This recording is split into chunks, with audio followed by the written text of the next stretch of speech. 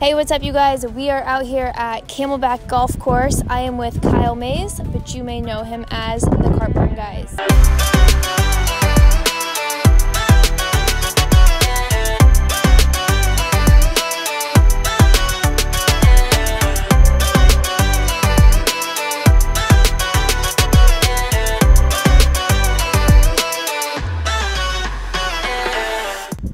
Is going to teach me today how to hit his famous sniper shot.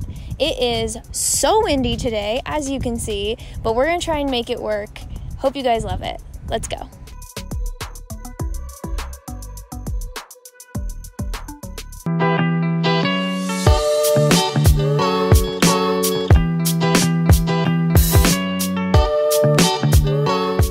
All right, so here we have Kyle Mays. Thank you, Kyle, for coming out here with me today. Howdy.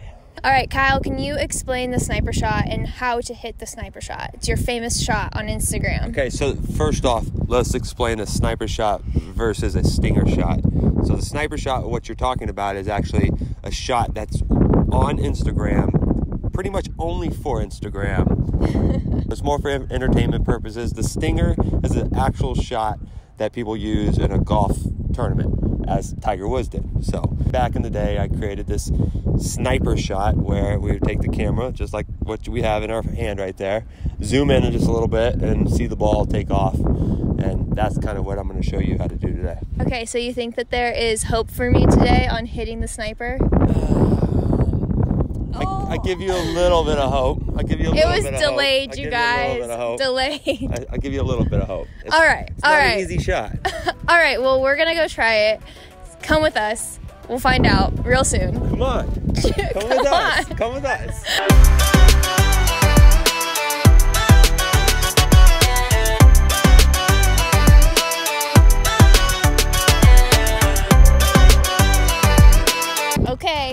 It's my turn. How low do you think you can hit it?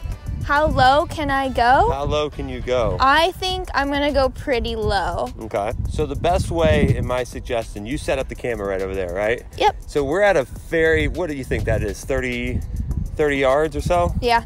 So the camera's 30 yards away. We're talking into this phone right now. So if you're trying to set this up, that's what you need to do. Take your camera, zoom all the way in, get the focus on us, and now you got your sniper set up, okay? So this is the first step there. So there is a little trick to it. It's not just a cool shot, it's a cool frame. It's a cool frame. well. Exactly. Step number two, so you saw what it looks like through the camera lens right there, right? Yes. So you have to visualize that when you're trying to hit this shot right here. So I see the background, you have about the top of the trees that you want to keep that ball in. So when you're trying to hit this shot, you want to visualize trying to keep it underneath the tree height right there.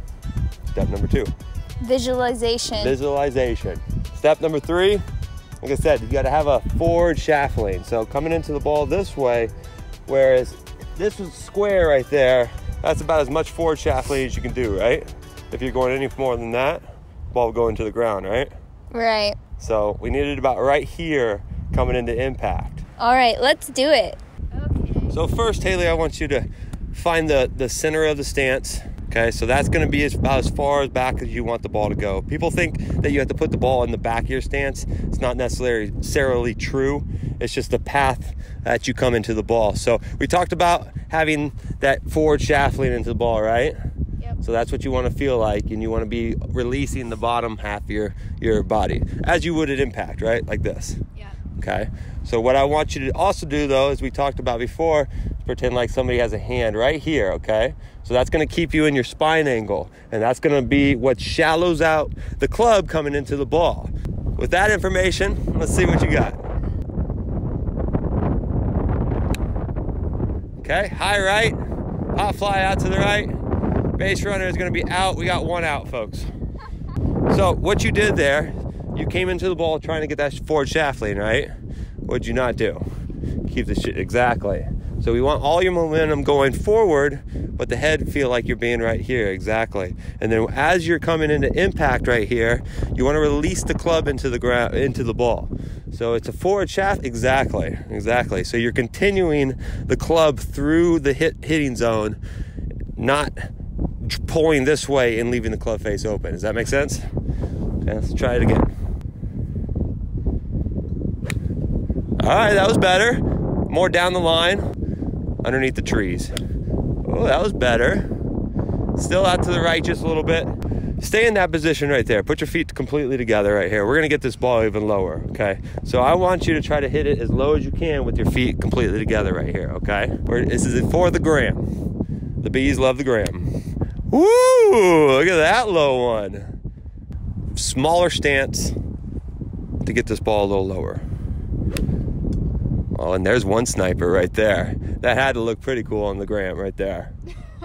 so why do you think you are having an easier time with your feet cl- closer together? Because I'm not able to sway as much. I have to stay still in order to balance. Otherwise, I'm going to fall off balance. Absolutely correct. So, good drill for you guys at home right there.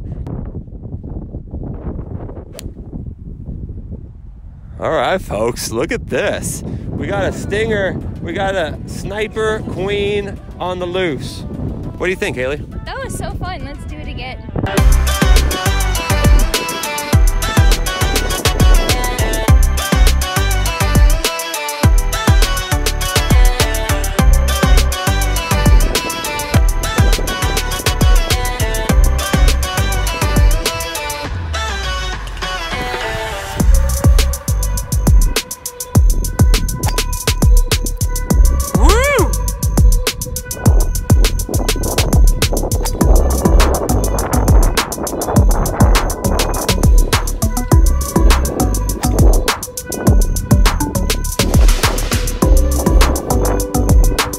Thank you, Kyle, for coming out here, teaching me the sniper.